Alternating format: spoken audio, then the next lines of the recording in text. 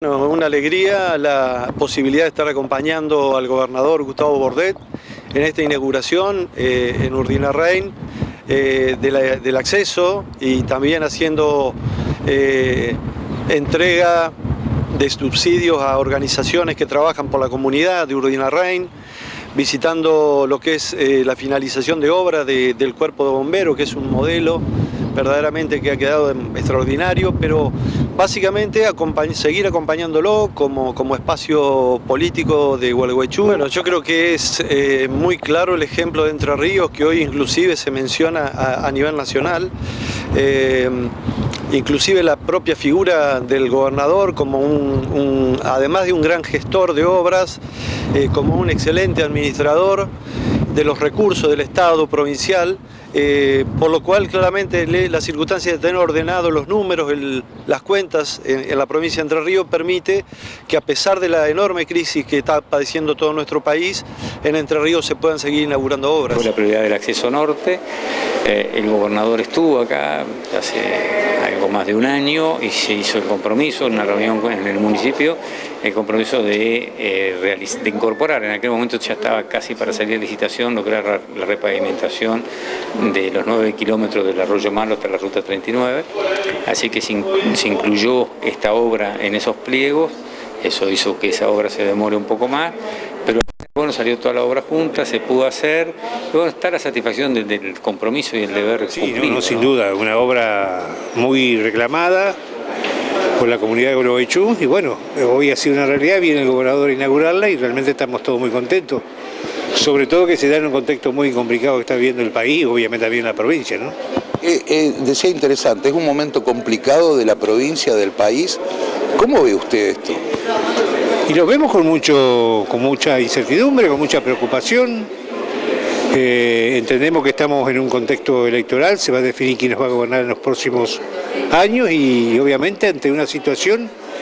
que es por todas conocida, ¿no? que hacen que pensemos que tenemos que vamos, vamos a tener que tener mucho esfuerzo si somos gobierno a partir del 10 de diciembre para sacar el país adelante. ¿no?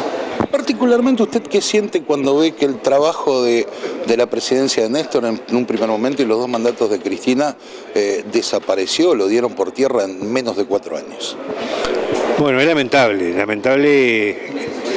lo que hemos visto en nuestros cuatro años. Podría, podríamos resumirlo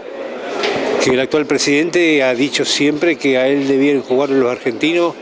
por cómo destruyó y combatió y logró una victoria con la pobreza y acabamos en el, Congreso de la Nación a aprobar una ley que es la prórroga de la emergencia alimentaria y además ver los resultados del último INDEC en cuanto a los porcentajes de la pobreza para darnos cuenta el fracaso a lo que ha arribado este gobierno. Eh, ¿Va a llevar más de de cuatro años eh, volver a que los argentinos... Un enorme endeudamiento, que naturalmente si este país no vuelve al camino de la producción y el trabajo y el empleo y del consumo va a ser muy difícil salir adelante. Esperemos, esperemos que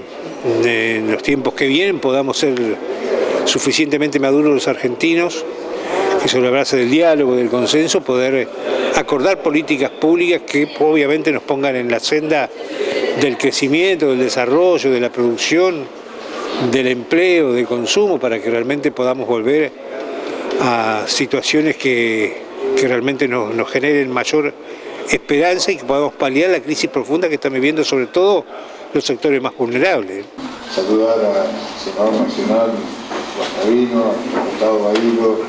los diputados provinciales, a Leticia, a Raúl, todos quienes aquí hoy en este en este evento, en este acto, el hecho de haber podido finalizar la obra del, acceso, de uno los accesos a, a cuando empezamos la gestión, obra estratégica del acceso,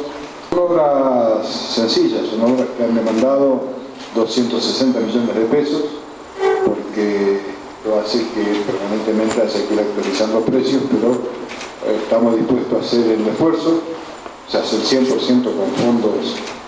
de vialidad provincial, con fondos de la provincia de Entre Ríos, ponernos de acuerdo en las obras que son para los vecinos de la ciudad y para los entrerrianos. Entonces en esto no podemos tener eh, diferencias, no podemos tener eh, posiciones encontradas. Y repito, son los intendentes que definen cuáles son las